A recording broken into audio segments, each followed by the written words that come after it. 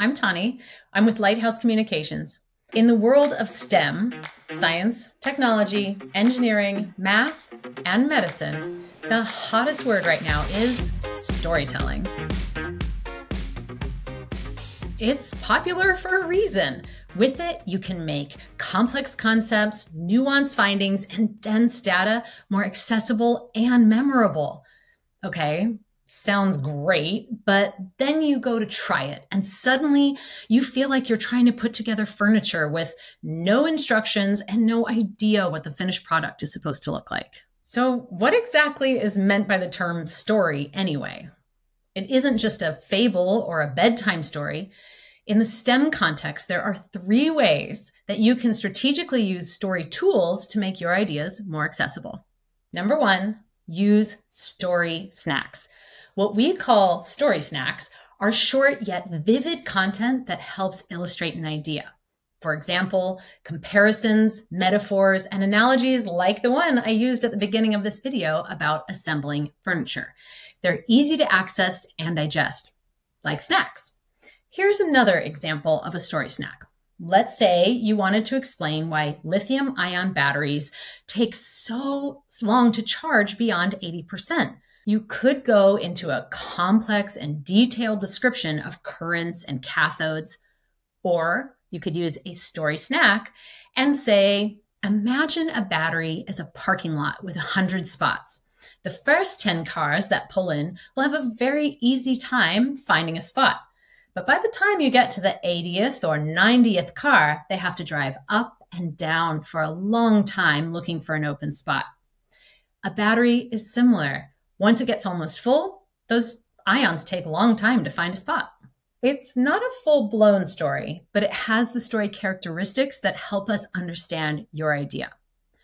One critical thing to note here after I gave the metaphor, I connected it back to the main idea of batteries and ions at the end. The second way to use stories is to start with a story and then follow with your data. It introduces your concept and primes your audience to better understand the data to follow. Kind of like an appetizer, what's your appetite? A few years ago, I was working with an engineering leader who was trying to convince other leaders in his company of the critical need to standardize across their platform. He had slide after slide of really good data, but his point just wasn't getting anywhere. He thought about other times when a lack of standardization had caused major problems in history. And he remembered a story. So he went back to the other leaders and started his presentation like this. In 1904, the city of Baltimore burned to the ground, but it didn't have to. The problem wasn't a lack of equipment, hoses, firefighters. The problem was there was no standardization for the connections on the fire hydrants.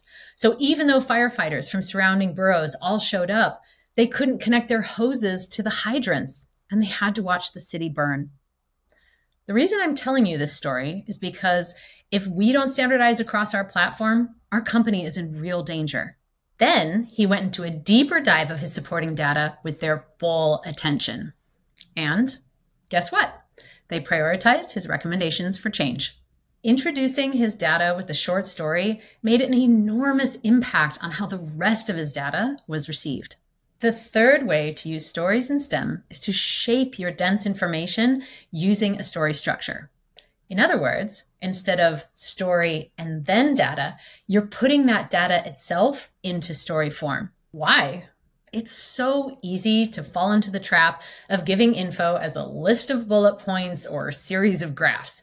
We see this a lot in academia, but science shows us that the audience can't take it in as easily. For example, when I teach about kelp in my environmental work, I could show a slide that looks like this and say, there are four things you need to know about kelp. It belongs to the Ochrophyta In other words, it's a kind of algae, and it photosynthesizes like a plant, requiring sunlight, and it has a flexible stipe. Very academic and frankly, kind of boring. It's all and, and, and. Instead, if we use a narrative structure like and, but, Therefore, we frame the information with a storytelling structure that our brains are hardwired to understand. Let me show you the same info in a story structure. Like plants, kelp needs to be able to reach for the sunlight to photosynthesize. And it has to have a flexible stem or stipe that can withstand heavy wave action. But that flexibility makes it unable to stay upright. Therefore, it has evolved gas filled bladders called pneumatocysts that help it float its blades up to the sun rays. See? Easier to follow, more interesting, and memorable. Storytelling is easier than it might seem. Use these tools yourself and let us know about your favorite strategies in the comments. Thanks for watching. Like and subscribe for more.